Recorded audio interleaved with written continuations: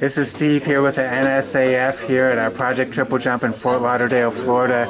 And we're here with Jamie Pratt, uh, the, the, coach's son, of course, and uh, a senior at South Haven Christian Academy in the Bahamas. Uh, he's met a lot of our athletes last summer, when, or last uh, March, when we had our second Project Triple Jump in, in, the Bahamas. And he surprised us a little bit this weekend. Most folks didn't know he was coming. A lot of friendships renewed and a lot of new friendships made as well as a young man here who surprisingly, you know, people are going to make assumptions that you've probably been triple jumping all your life since you're the father, the son of a triple jump coach, but really you've just picked it up in the last couple years, right, Jamie? Yeah, it was in May. Was it last year?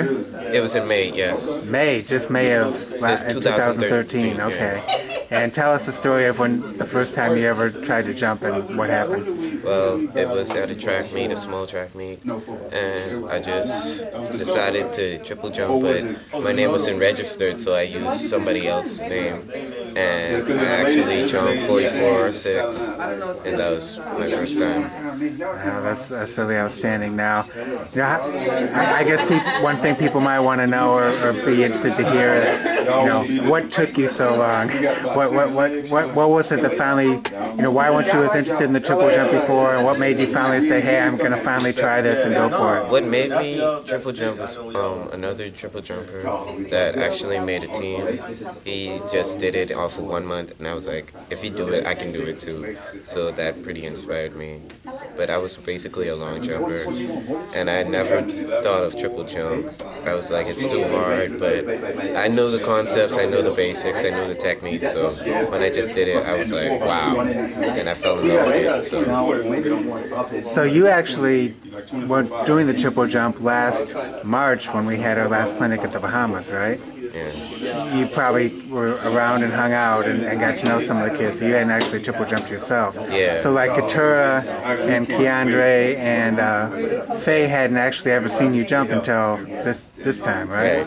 Okay, well that's pretty cool. And so, you know, now being a full participant in the clinic and uh, of course getting a chance to come here to Florida and, and see these guys on their turf, so to speak, you know, what, what was the weekend like for you? How would you describe it? It was fun. It was fun meeting a lot of new friends and all that.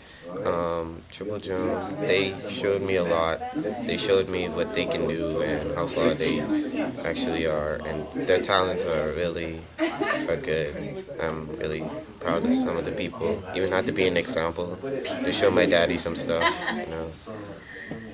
And you know, it, it seemed like even though obviously you were here with your dad, I mean, you were you, you were kind of your own, you know, yeah. you were able to be independent and, and, and just kind of establish your own identity here. It looked like you had an awful lot of fun. Yes, I did. and you looking forward to, to, hosting everybody now when everybody comes later in the year? Oh, but of course. Now, you know, what, what did you, you know, just looking at your own jumping and your own technique and when everybody got a chance to do some um, half run-ups and, and, full run-ups yesterday and got a chance to jump. How did you feel about the way your jumping was coming along based on how that went yesterday? Well, yesterday I really felt better, but still need some work on the step phase. When I was talking to the Keandre, and he was just like, just run off the board, and I did that, and I felt myself going further and with more control. And even though I broke down, I still picked myself up, which was a good draw for me because when I break down, I, I can't pick myself back up. So it's okay. yeah. All right. Well, thanks a lot. And we really appreciate you coming and look forward to seeing you in the Bahamas later this year. All right. Bye.